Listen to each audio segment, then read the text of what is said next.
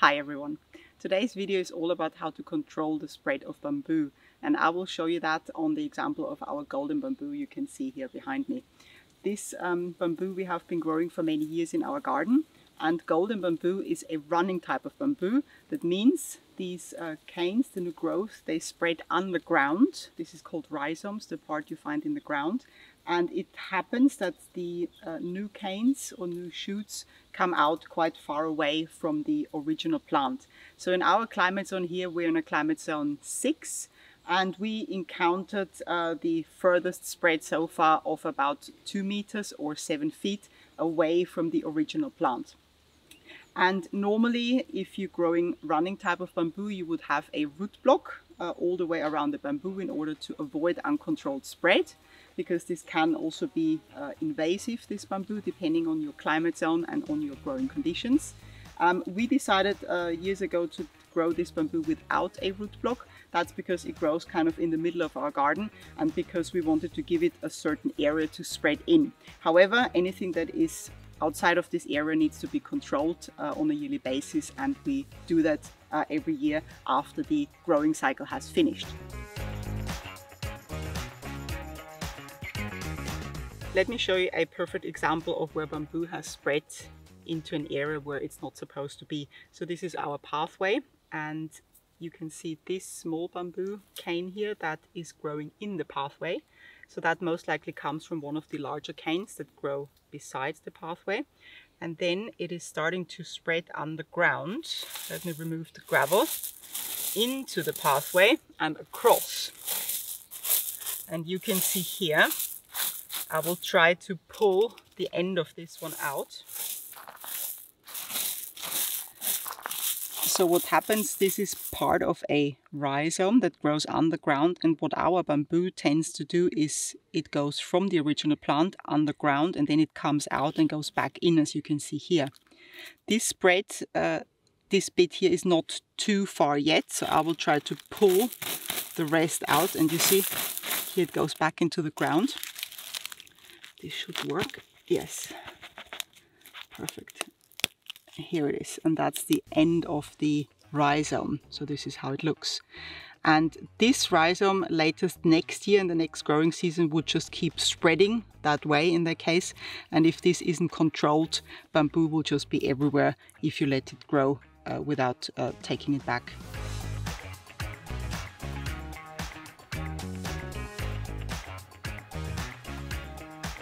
First, I will take care of these three rhizomes here growing into the pathway and I will remove them. On this gravel pathway we have underlay underneath to avoid weeds from growing through and I think these rhizomes grow actually under the weed foil so that means I will have to remove all this gravel first, cut open this weed foil and then remove the rhizomes.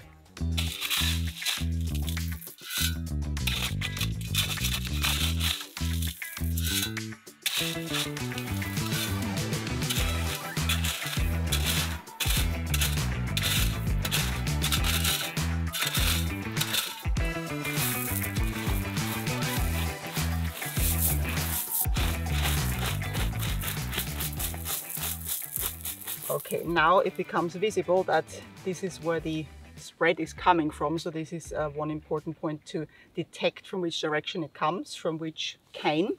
And you see here that this cane is going that way. So I'm assuming it's this one here or this one, but probably more this one because it's a straight line and they tend to spread in straight lines.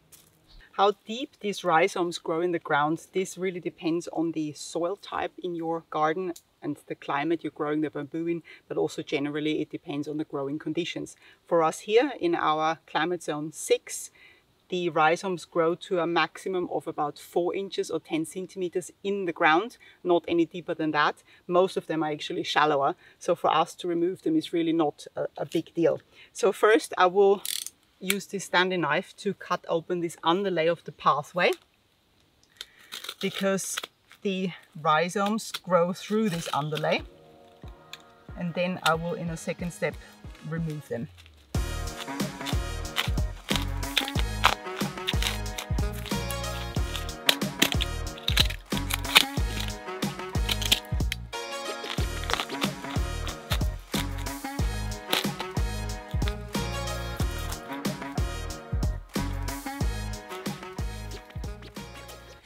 This is a good example to see what sometimes happens with rhizomes spreading underground, which is that they split. You can see here that the main rhizome going this way has developed uh, a second one just going or forking off from the main one and then over time this one would grow also longer and this is how it spreads not only in one direction but in several directions. The other thing I want to show you here is that this cane, this is a fairly new cane, it's very thin and small, has grown out from this rhizome and this is how bamboo then uh, spreads or continues to grow. So all these rhizomes have nodes at certain points and this looks like one here. And from these nodes, new canes will start to grow out. That means bamboo basically spreads in two different ways. One is the rhizomes growing underground and the other one is new canes growing out from these rhizomes. So this is how it works with running bamboo.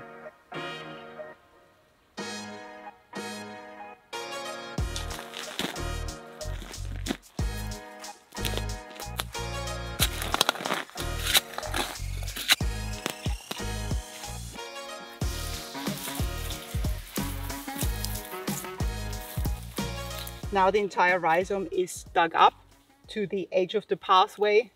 Here is where I'm going to cut it. And it turns out that it doesn't come from either of those. It seems to come from the original plant back here, which is still visible. So I will use snips now to cut this off here and then I will restore the pathway again.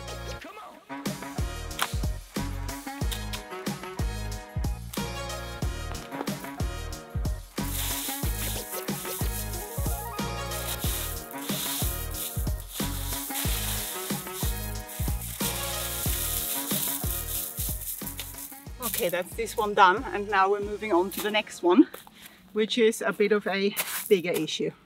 The second rhizome I need to take care of today is the one running in front of me. You can see that here is bamboo growing out already. This is fairly recent, so two very small ones growing out from the nodes. And then the end of this rhizome is this new shoot, which came out this year. So this is the growth from just this growing season, which is for bamboo typically 90 days and all this needs to be removed. Now the issue is that this rhizome seems to be running under this stone here and we do not really want to move that stone or lift the stone. So what I will try to do is to again remove the gravel here like I showed you before and detect first where this rhizome is exactly coming from and where it's going and remove as much as we can and then maybe it will be possible to actually pull this one out without uh, moving this stone here. So that's the plan.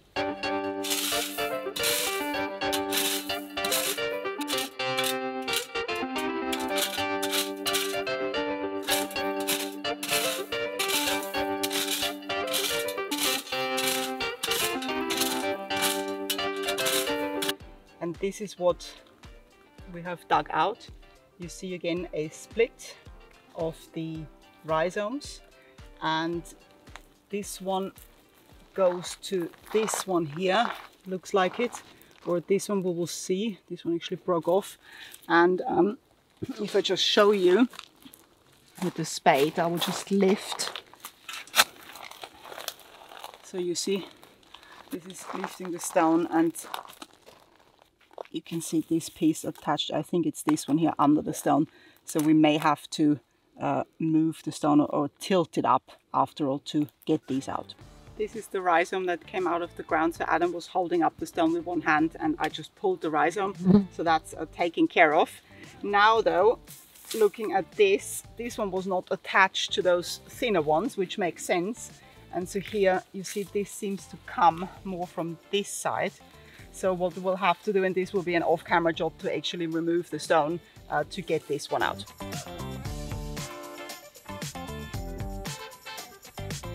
So this is how it looks under the stone and I'm now searching for where this is coming from.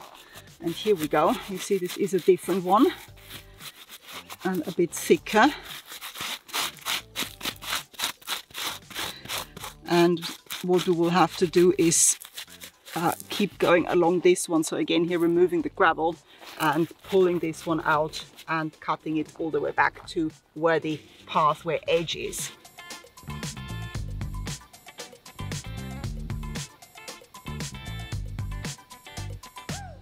You can see how far we have come from where it came out of the ground all the way. It wasn't very deep, luckily.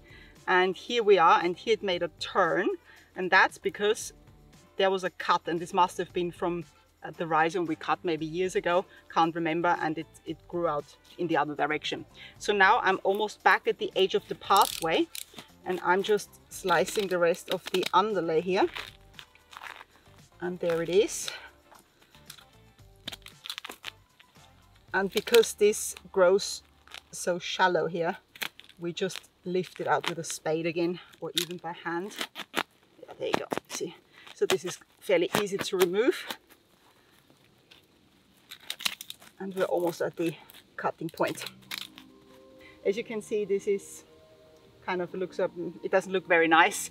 And um, the conclusion is that if you're thinking of growing bamboo or if you do grow bamboo already and you want a controlled spread or you want to keep it in a certain area, the best option is always to put a root block in, ideally before you plant the bamboo.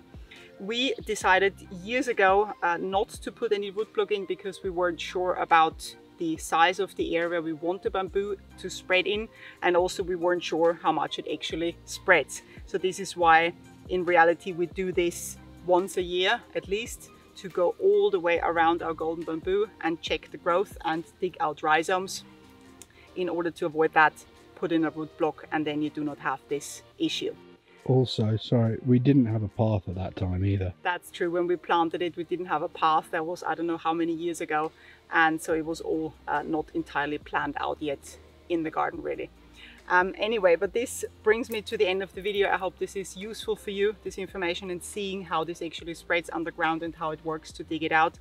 As mentioned, here it was very shallow. This is not necessarily everywhere the case and depending on your climate and soil conditions and growing conditions, the bamboo may spread way faster, especially in a warmer climate.